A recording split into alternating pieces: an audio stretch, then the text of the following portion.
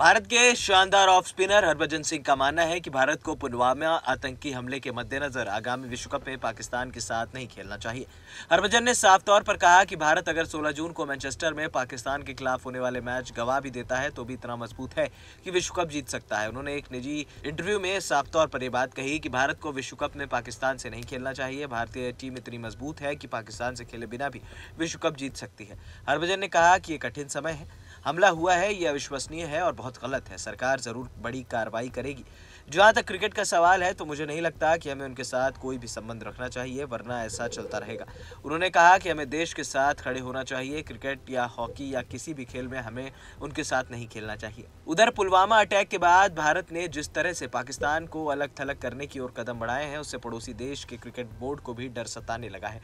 भारत ने मुंबई, मोहाली और जयपुर स्टेडियम में पाकिस्तान के क्रिकेटरों की तस्वीरें हटाई जा रही हैं क्रिकेट क्लब ऑफ़ इंडिया ने तो ये भी मांग की है कि भारत को विश्व कप में पाकिस्तान का बॉयकॉट करना चाहिए। इन खबरों के आने के बाद पाकिस्तान क्रिकेट बोर्ड ने खेल और राजनीति को अलग रखने की अपील की है। जम्मू कश्मीर में गुरुवार को पुलवामा में आतंकी हमला हुआ था। इसमें भारत के 42 जवान शहीद हुए थे। नेक्स्ट नाइन स्पोर्ट्स डेस्क से अभिलाष पांडे की रिपोर्ट।